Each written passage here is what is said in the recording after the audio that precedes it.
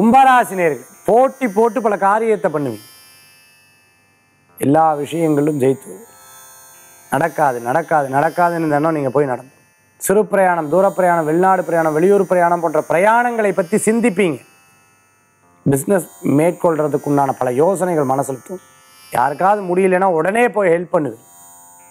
நம்மளால் முடிஞ்ச ஹெல்ப் இதெல்லாம் ரொம்ப வேக வேகமாக இருந்துட்டு அந்த வேகம் குறைஞ்சிருத்தேங்கிற ஒரு யோசனை இருக்கும். ஆரோக்கியத்தில் கவனம் செலுத்து.